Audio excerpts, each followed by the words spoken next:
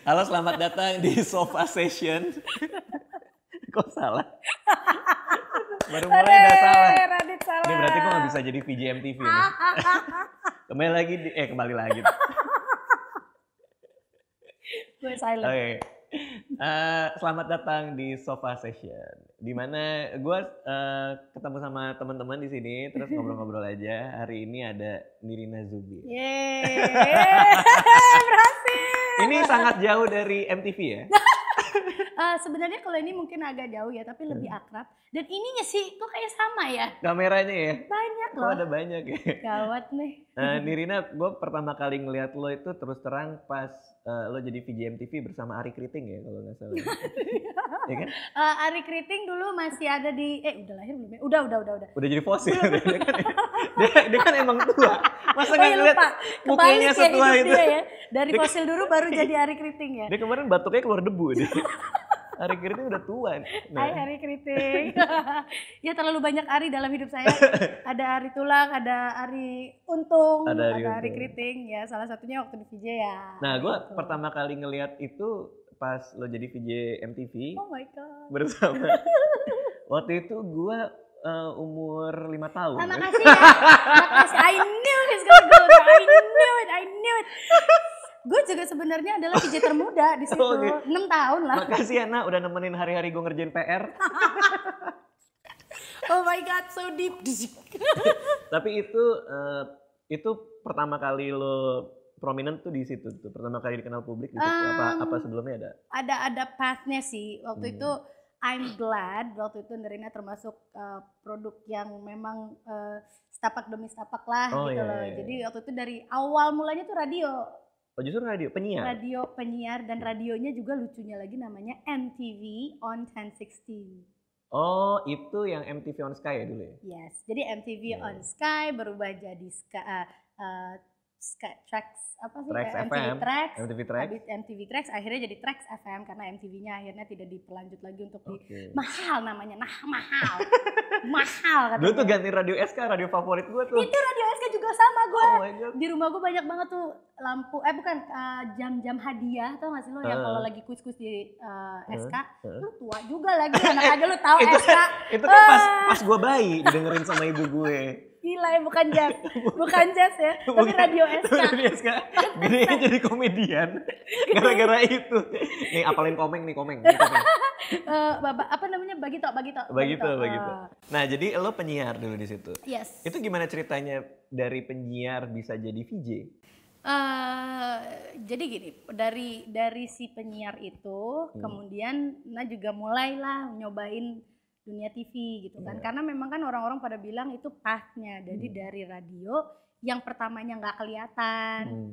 yang bener-bener yang lah lah lah bodo amat ngomong cepet, kemudian Hmm. masuk ke dunia TV tuh kayak one step eh, apa ya, Hmm. istilahnya satu path lagi yang berbeda lah gitu, Oke. jadi pelajaran yang lain lagi karena kita berubah tuh dari radio yang Hmm. ngomongnya yang oke semuanya mau sekarang kita dengerin dulu lagu ini pokoknya buat semua yang lagi bete segala macam tenang aja gua akan nemenin lo sampai jam 10 nanti jebret lagu Nah, tapi kemudian masuk ke TV stop Sa- sabar tahan ngomongnya nggak secepat itu ya hmm. jadi eh, nah di situ gue mulai bawain acara kuis sama Hilbram Dunar itu sebelum TV bahkan. cepat tepat dapat Wadah. dan gue bukan sebagai host gue sebagai cewek yang di kuis yang Oh ya bener.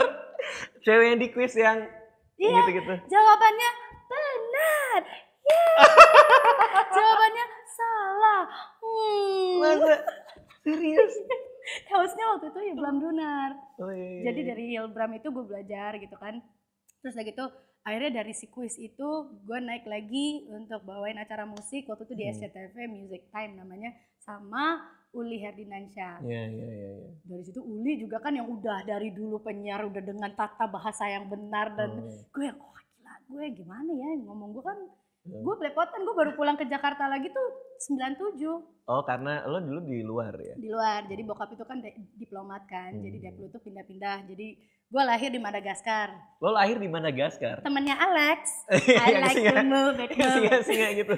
Oh antara dua orang bakal eh, kenal sama negara kelahiran gue atau tempat gue lahir itu antara dua satu film Madagaskar yang kartun Oh. atau Fear Factor Fear Fear Factor ya? Madagascar cockroach. Oh yang gede The itu ya? hissing Madagascar Oh pantesan lo datang ke sini nyari kecoa tadi. eh gue lapar saya? nih, gue lapar. Mana teman saya? Terus? itu jadi eh, dari situ terus gue mulailah eh, maksudnya belajar bahasa karena kan gini mau mau nggak mau dulu tuh belum Hmm. terlalu tren di mana ngomong dicampur-campur Inggris Indonesia Inggris apa apa Hmm. Indonesia setengah-setengah Oh tuh dulu belum nggak boleh ya? belum nggak boleh bener-bener Oh. yang lo mau nah ini pelatihan gue di radio nih Hmm. lo mau ngomong apa bahasa Indonesia Indonesia semua bahasa Inggris Inggris semua Tapi ini menarik nih. Jadi lo berangkat eh, dari penyiar, yes dari penyiar ke TV. Hmm. Berarti ada pembelajaran di sana, ada knowledge baru kan di situ kan. Banget, Apa yang lo pelajari selama di TV? you can't speak too fast Gak boleh ngomong terlalu cepat. eh. Uh, dan uh, kalau ngomong ya maksudnya uh, nggak usah so asik karena kelihatan. kalau di radio kan cuma Gak usah so asik tuh gimana? nggak usah so asik tuh kayak nggak tahu ya pas lagi zaman gue sih bener-bener yang uh, ketahuan banget kalau yang eh kabar lagi ngapain gitu. Aku mau nyoba buat vlog gue. Eh semuanya, apa kabar? kalau di radio tuh diajarinnya bener-bener kan stay Hmm. true to what you are maksudnya bener-bener nah ini pembelajaran dari radio yang sangat berharga Eh, apa jujur aja gitu kalau karakter lo yang kayak gitu ya lo kayak gitu gitu Hmm, hmm. jangan terlalu dibuat-buat karena nanti juga akan apa ya kelihatan totonya ya. begitu lo ke TV kan kelihatan jadinya wah itu dibuat-buat Oke. gitu loh Nah ini menarik nih. Kenapa menurut lo Hmm. banyak penyiar video, eh, banyak penyiar radio Hmm. yang nggak bisa masuk ke TV? Kan kita lihat nih banyak penyiar main ke TV, penyiar main ke TV. Tapi ada juga yang enggak. Apa sih yang mereka nggak punya gitu? personality Personality. Jadi di TV itu personality itu yang paling penting ya. Jadi ada orang yang emang siarannya bagus. bahkan di radio pun personality punya Hmm. tapi maksudnya kalau eh, ya dua sih ya sebenarnya jujur-jujur aja sih Hmm, gitu hmm, hmm. walaupun gue juga waktu itu ngerasanya adalah ah ini mah seleksi alam aja lah gitu ya Hmm. tapi gue juga akhirnya setelah berada di industri ini lama fisik is uh, actually matters Hmm, karena itu visual. visual kan jadi masalahnya bukan lo harus cantik banget lo harus ganteng banget enggak tapi setidaknya you look Enak good. dilihat. iya you look Ya enak lo dilihat. boleh cantik bulu dadanya keluar kan enggak? terus di lagi TV kan- ngomong giginya ada sayur nyam, nyempil juga ilfil kan lo ya kan Iya. Oke oke. Nah, lo masuk lagi ke film. ya Itu pertama apa? 30 hari mencari cinta Wah itu gue suka banget tuh film. itu gue suka banget tuh film. Bau pi itu keren. keren. banget. Itu Iya. gimana lo bisa masuk ke film itu? Kan lo sebelumnya nggak pernah main sama sekali kan? Iya, karena gue orangnya curiosity-nya tinggi, Hmm. punya rasa penasaran atau pengen tahunya tuh gede. Hmm. Jadi waktu itu gue lagi siaran di radio MTV Iya. yang 1016 itu, yang TV Sky. Kayak Yang bikin company profile-nya itu Rex Cinema. Iya iya. iya. Rex Cinema Mas kan Erwin. ada Mas Erwin, ada Mas Eko, ada Dimas, ada eh, Mas Aris. eh, ya Mas Aris. Kok banyak deh itu itu pada saat itu yang Hmm. wah videographer yang atau mungkin yang orang pembuat film film yang wow udah tusuk jalangkung kan Iya iya iya. iya. Nah terus lagi gitu ngomong nih sama eh belum belum belum tusuk jalangkung belum belum Oke. justru tusuk jalan ya, film company profile ini dulu terus dia bikin juga si tusuk jalangkung kenapa nak tahu karena waktu itu nah ngomong kan eh kalian tuh berarti bikin film ya gitu ya. Hmm.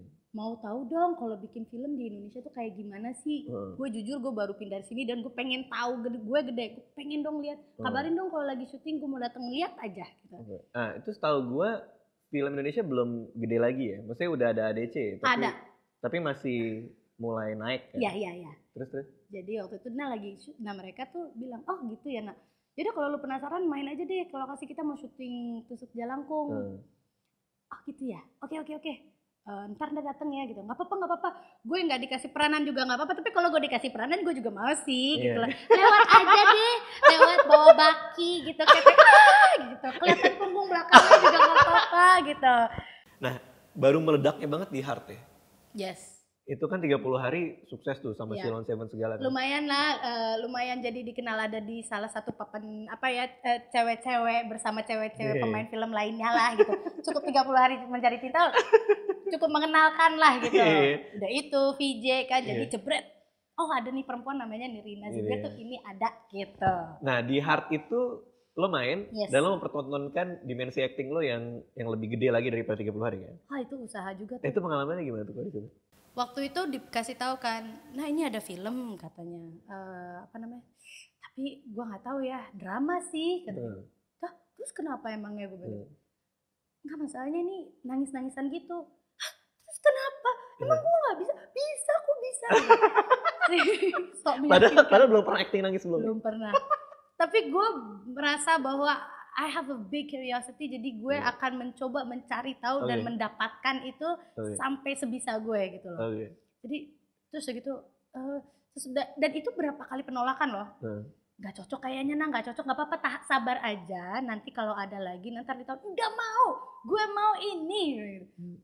Enggak masalahnya orang juga kayaknya nanti bakal confused sama karakter lo. Lo di 30 hari mencari cinta itu kurang lebih menggambarkan karakter lo yang di, di MTV juga lo begitu deh. Iya, iya, iya. tapi di heart ini tuh enggak. Eh, orang nggak bakal percaya lu nangis gitu. Terus yang what? Orang nangis mah nangis aja kali. Eh. gini aja deh gue bilang gitu. Gue casting. Eh. gue casting gue ketemuin direkturnya gue bilangin sama dia gue bisa nangis gitu. Terus? Gak tahu ya belum pernah nyoba belum pernah nyoba, belum pernah nyoba. Mas Hani ya itu? ya? Mas Hani. Akhirnya ketemu. Pas lagi ketemu terus gitu. Emang kamu bisa nangis? Digituin anjir. Hmm, bisa mas. Eh. oh ya? Lo bukannya yang biasanya ketawa terus? Ih, tapi kan orang ketawa juga bisa nangis kali mas. Gue juga manusia biasa kali. Ini menarik banget. oh, gitu. Oh. Oh gitu. Ya udah coba. Gue kasih lo ya waktu. Hmm. cuman berapa lama gitu? Gue yang "Hah, gila suruh nangis gue belum pernah. Aduh gimana caranya ya? Gak tahu ya karena emang gue pengen banget dan emang driven banget. Jadi bener-bener yang oke gue tunjukin ke lo lo nggak akan kecewa sama gue padahal sih gue ngecap up doang. Dah akhirnya benar dikasih waktu sama dia dikasih line.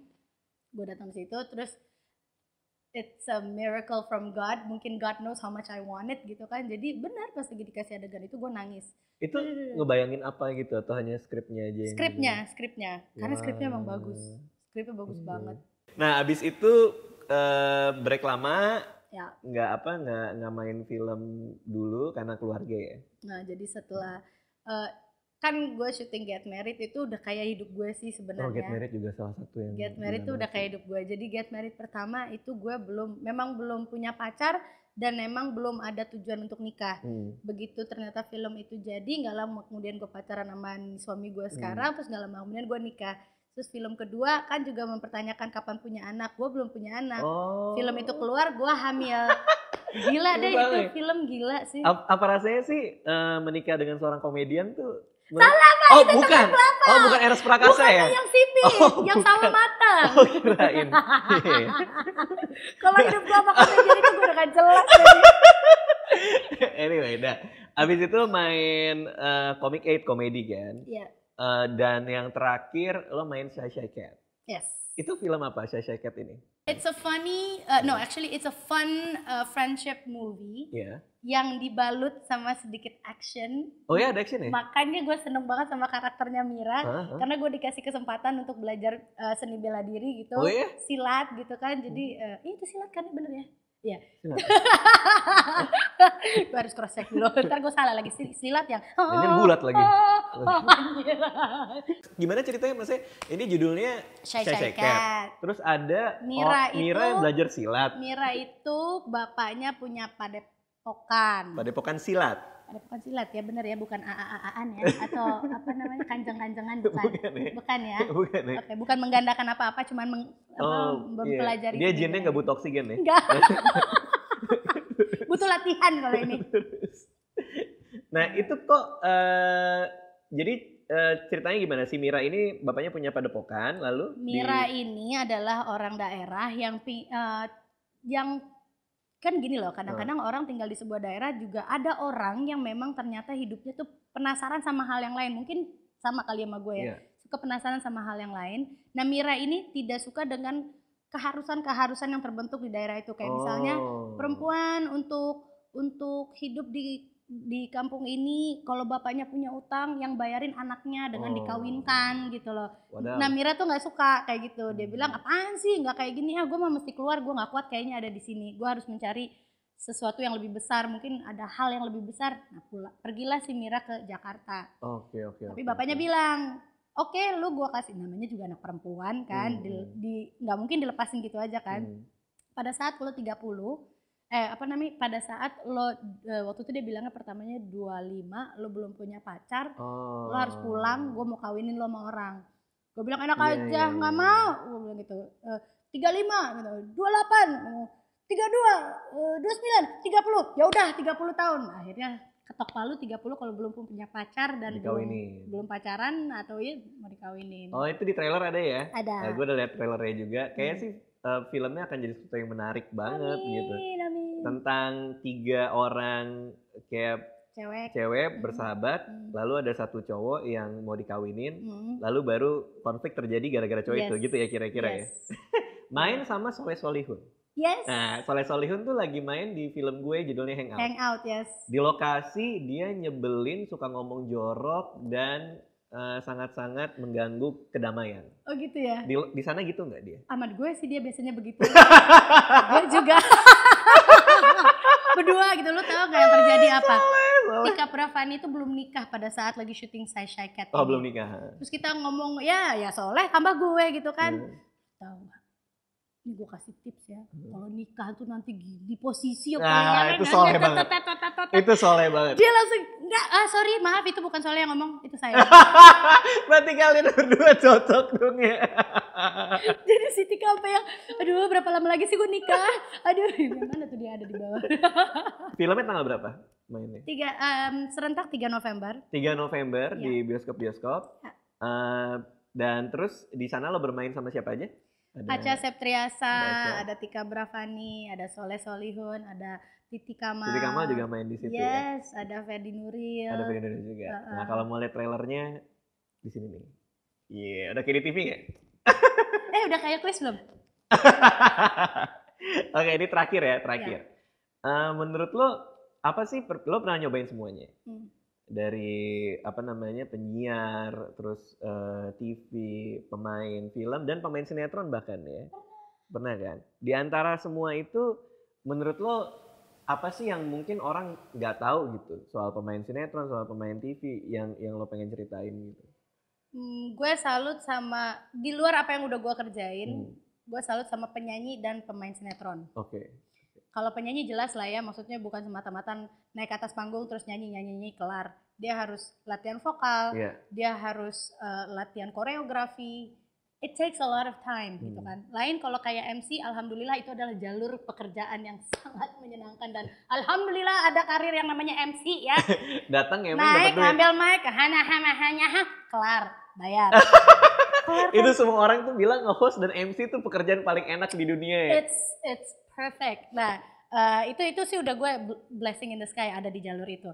Nah, kalau penyanyi kan yang seperti kita bilang kan latihan ini, nah itu kostum, kostum juga harus dipikirin. Hmm. Kalau mau yang biasa aja ya lo segitu aja, tapi kalau Hmm. orang luar biasa kan pikirin kostumnya, apanya, dancingnya. Itu itu satu. Dan yang kedua, pemain sinetron.